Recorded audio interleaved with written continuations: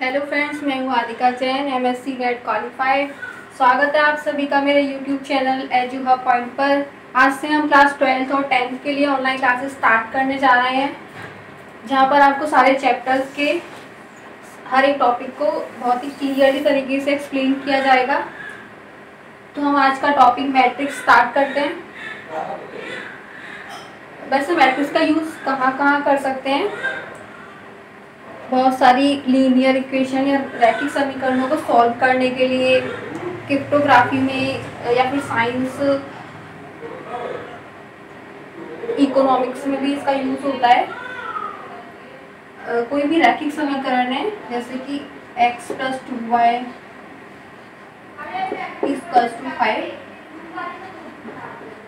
five plus three X equal to six इस तरह की ही रैखिक समीकरणों को सॉल्व करने के लिए मैट्रिक्स को काम में लेते हैं। तो हम एक एग्जांपल देखते हैं कि मैट्रिक्स की डेफिनेशन को अच्छे से एक्सप्लेन कर सकें।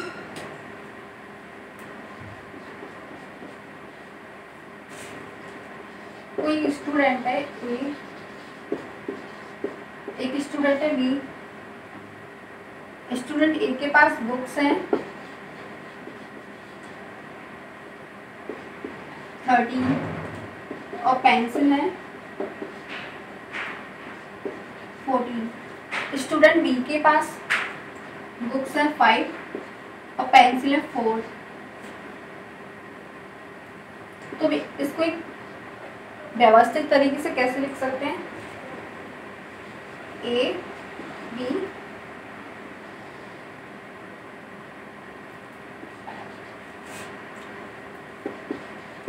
ए के पास books thirteen pencil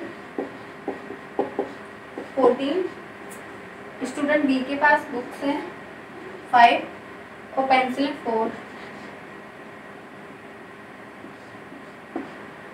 इसको और भी व्यवस्थित तरीके से. थर्टीन फोर्टीन फाइव फोर हम इसे किस तरीके से पढ़ेंगे?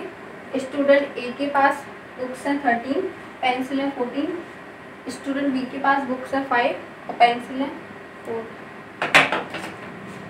हम इसे एक और तरीके से लिख सकते हैं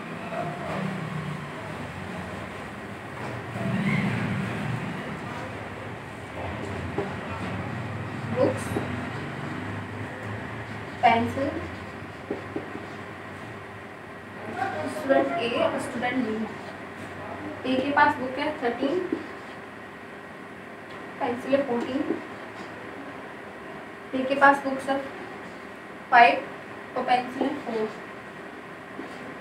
हम इसे और किस तरीके से लिख सकते हैं? थर्टीन फोर्टीन इसे हम किस तरीके से पढ़ेंगे?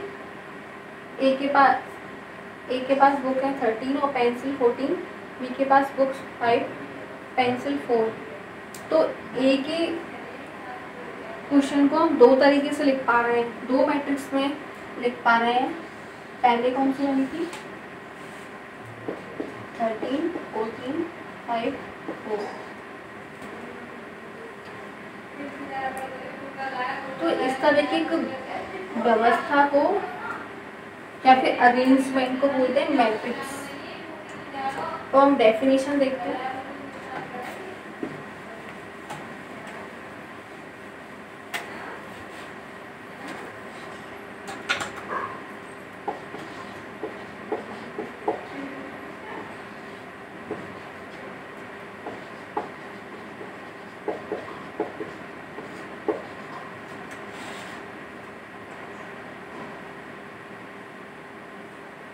फलनों या संख्याओं के।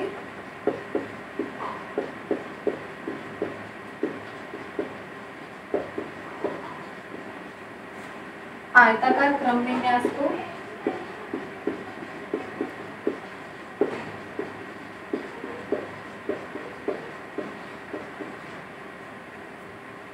मैट्रिक्स या आव्यूह कहते हैं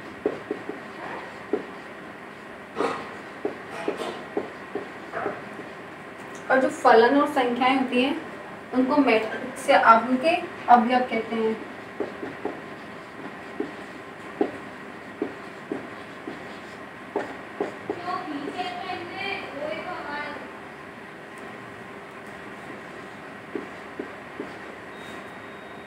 अभी एक एग्जांपल और लेते हैं। कोई मैट्रिक्स इसमें एलिमेंट है A B C D E F G H K matrix है। इसके अवयव हैं A B C D E F G H K इनका आपस में भी कोई संबंध नहीं है। ए और बी में अभी कोई संबंध नहीं दे रखा है। तो जो पंक्तियाँ ऊर्ध्वाधर जा रही है, जो लाइनें ऊर्ध्वाधर जा रही हैं इधर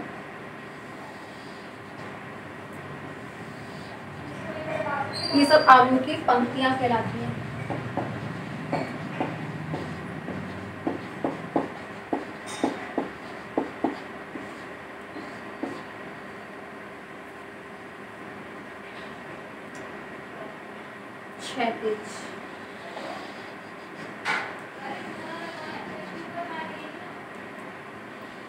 और जो ऊर्ध्वाधर है लाइन है ऊपर से नीचे की तरफ़ वो जो कि स्तंभ कहलाते हैं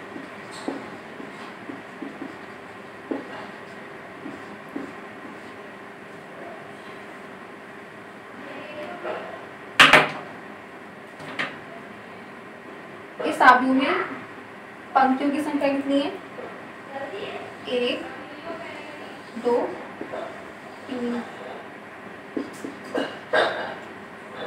और स्तंभों की संख्या एक दो तीन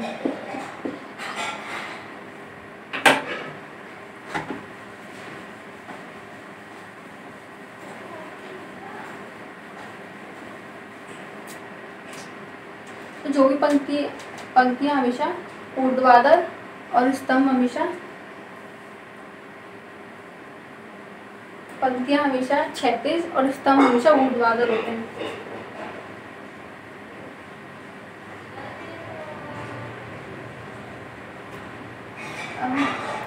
आयु की कोटि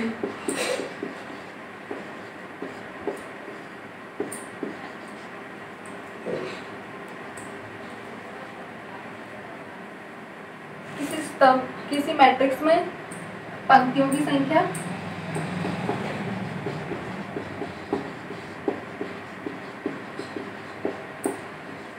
क्रॉस स्तंभों की संख्या।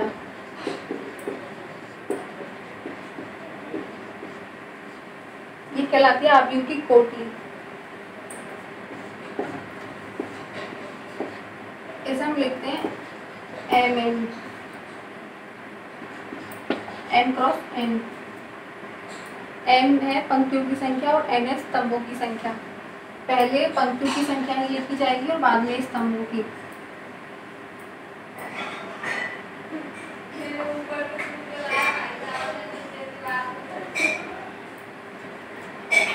आव्यू को हमेशा अंग्रेज़ी वर्णमाला के बड़े अक्षरों में लिखते हैं। जैसे कि A B C X Y Z तो आव्यू को रिप्रेजेंट कैसे करते हैं? A is equals to small A I J N cross N A I small A I J है मैट्रिक्स का अवयव. आई जे मीन्स आई मीन्स वो किस पंक्ति में है? जे मतलब वो किस स्तंभ में है? एन क्रॉस एन आलू की कोटि को बताएगा. कि कितनी पंक्तियाँ और कितने स्तंभ हैं।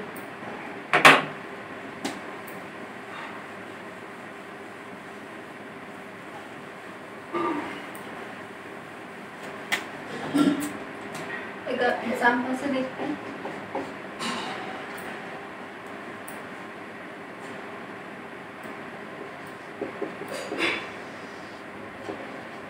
A one one A one two up to A one M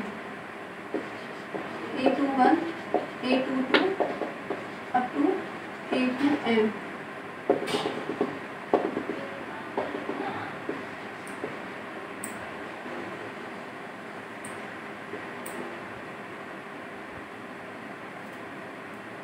A M one A M two A M N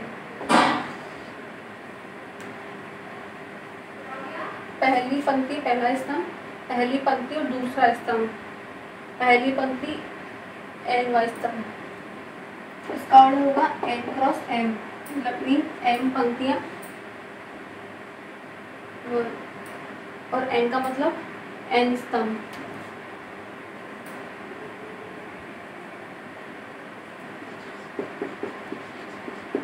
A is equals to A I से एम क्रॉस एन जब आई वैली करेगा एक से एम तक जे vary करेगा एक से N तक।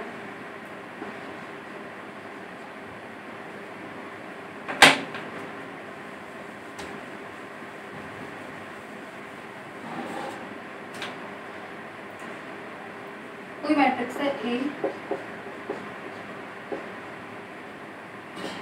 इसका ऑर्डर दिया है।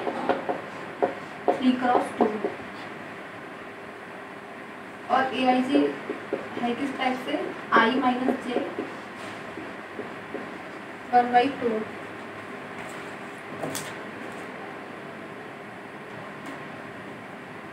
तो हमें कैसी मैट्रिक्स बनानी है? जिस, जो थ्री क्रॉस टू की हो, और उसके हर एक एलिमेंट आई माइनस जे का मॉड वन बाई टू हो।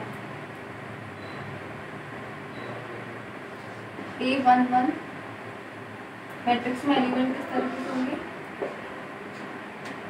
तीन पंक्तियाँ होंगी, दो स्तंभ होंगे A one one A one two A two one A two two A three one A three two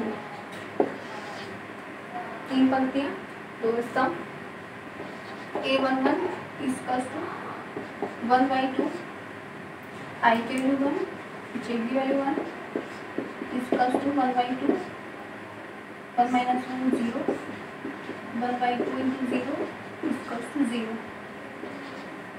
A one two one by two I one minus J की value two one by two mod of minus one mod of minus one की value one upon two A two one equals to one by two I की value two J की value one equals to mod of one mod of one equals to one A two two one by two two minus two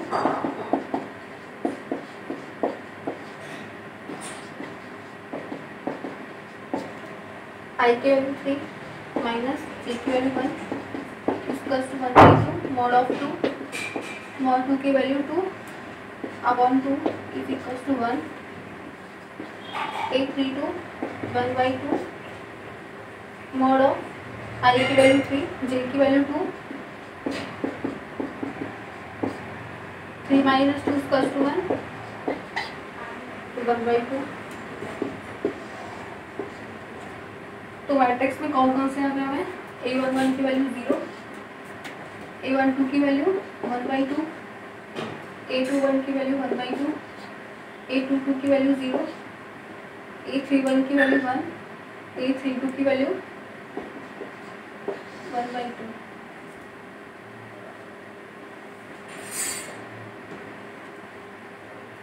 इस तरीके से ए आई जी की जो भी value हमें find करनी हो, जो भी फॉर्मूला दे रखा हो, उसमें हम आई और जी की वैल्यू रखते जाएँगे और वैल्यू फाइंड हो जाएगी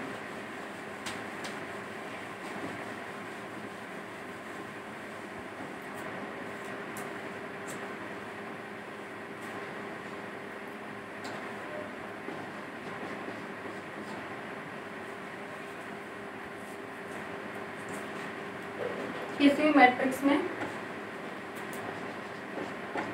अवयव कितने होंगे?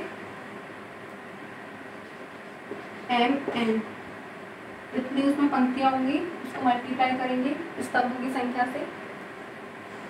तो हमारे पास अवयवों की संख्या आ जाएगी। अब एक एग्ज़ाम्पल देखते हैं। कोई मैट्रिक्स है, उसमें अवयवों की संख्या दे रखी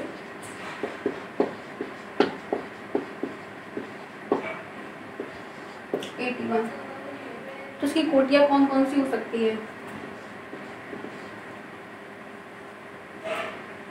हम एटी वन को ऐसे क्रमिक योगों में लिखकर देखेंगे, जिनको आपस में गुणा करने पर हमें इक्यासी मिलेंगे। जैसे कि one eighty one comma eighty one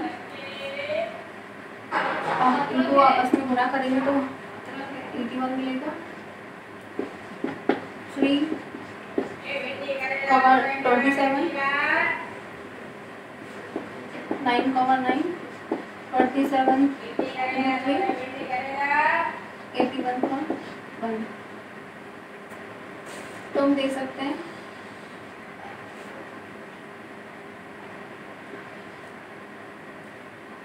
हमें पाँच तरह की मैट्रिक्स मिली है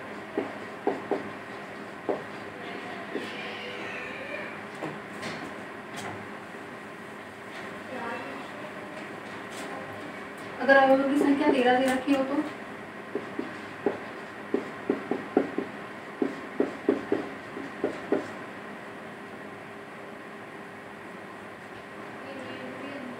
तेरह अभाज्य संख्या है तो उसके लिए कोई और फैक्टर हमें नहीं मिल सकता। तो उसके दो ही फैक्टर होंगे। मतलब कि इसकी कोटियाँ दो होंगी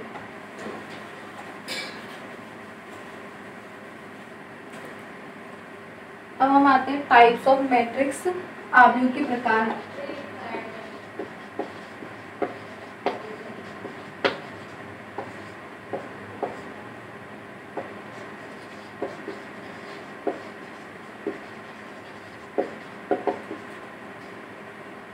पहला पंक्ति आव्यूह ऐसा आव्यूह जिसमें पंक्ति की संख्या एक हो और स्तंभों की संख्या एक से ज़्यादा हो। जैसे कि एग्जांपल वन टू थ्री इसमें पंक्ति एक है और स्तंभ में तीन। Three one cross three three की मैट्रिक्स दूसरा, स्तंभ मैट आव्यूह ऐसा आव्यूह जिसमें स्तंभ की संख्या एक हो और पंक्तियों की संख्या एक से ज़्यादा हो। जैसे कि एग्ज़ाम्पल वन टू थ्री पंक्तियाँ इसमें तीन है, और इस स्तंभ है एक तो थ्री क्रॉस वन की मैट्रिक्स थर्ड टाइप वर्ग आव्यूह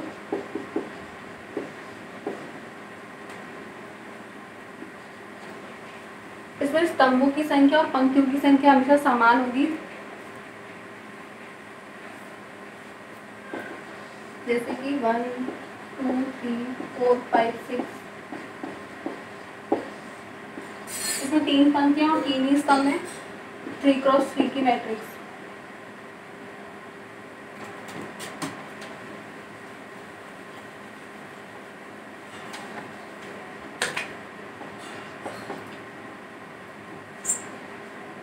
विकर्णीय अवयव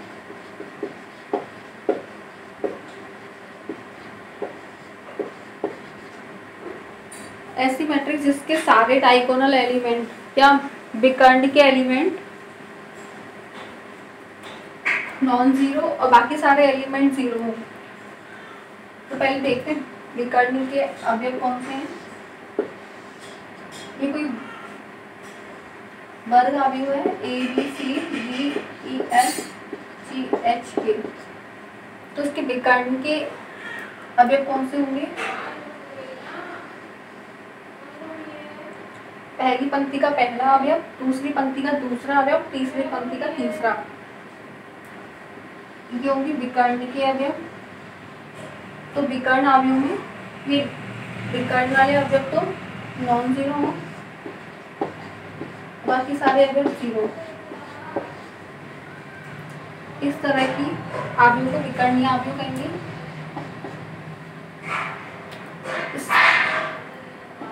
अदिश आव्यूह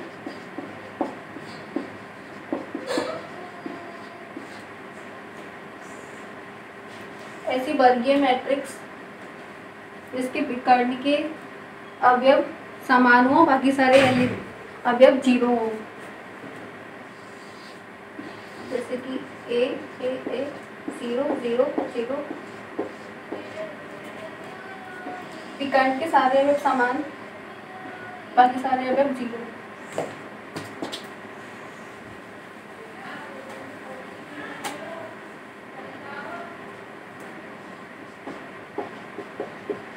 समान अवयव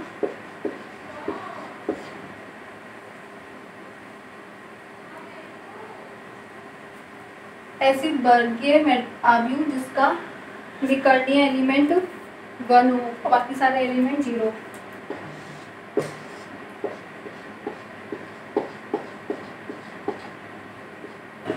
three cross three के लिए, अगर टू क्रॉस टू के लिए देखें तो वन ज़ीरो ज़ीरो वन और वन क्रॉस वन के लिए वन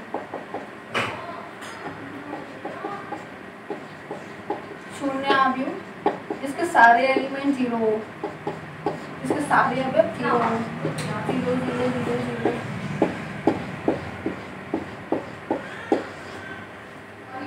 इसलिए ज़रूरी नहीं कि आयु वर्ग हो। तत्समक के लिए भी ज़रूरी है कि यू वर्गीय हो।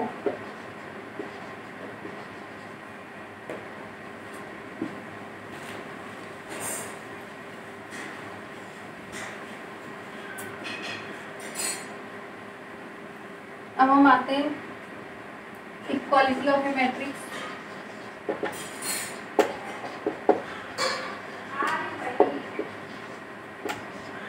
या अवयव की समानता।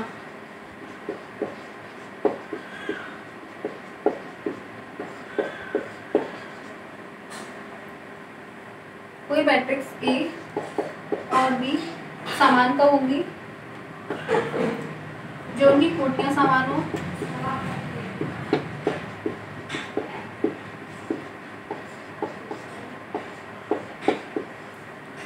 का प्रत्येक अवयव।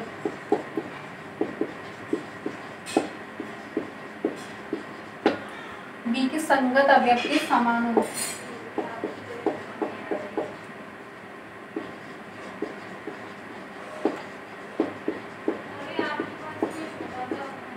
मतलब A I J to B I J for all I comma J जैसे कि ए वन वन इक्वल हो बी वन वन के ए वन टू इक्वल हो बी वन टू के एंड सो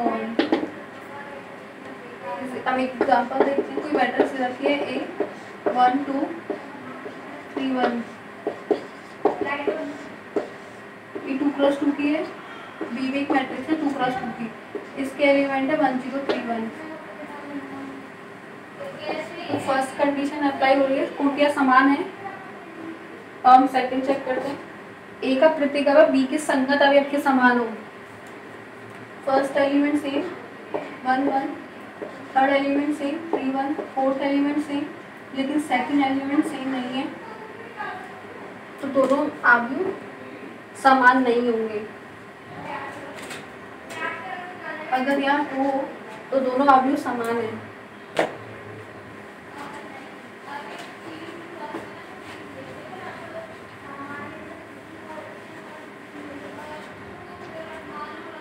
एग्जांपल और देखते हैं। कोई मैट्रिक्स है A two three four five six seven एक matrix B A B four three D seven दोनों मैट्रिक्स टू क्रॉस थ्री की हैं और समान है। तो हमें ए वैल्यू फाइंड करनी है। इसे हम किस तरीके से करेंगे? मैट्रिक्स समान दे रखी है और कोटियाँ समान है। तो ए के सारे अवयव बी के संगत अवयवों के समान होने चाहिए। पहला अवयव, पहले अवयव के समान हो। मतलब two is equals to A three is equals to B four equals to four five is equals to C six equals to D seven is equals to seven तो ए बी सी डी की value find हो गई. A is equals to two B is equals to three C is equals to five D is equals to six इस तरीके से जो भी समान मैट्रिक्स दे रखी हैं, उनके लिए हम वैल्यू फाइंड कर सकते हैं। तो फ्रेंड्स आज के लिए इतना ही। कल हम देखेंगे आयु की गुणधर्म योग व्यक्लन गुना और हक के लिए।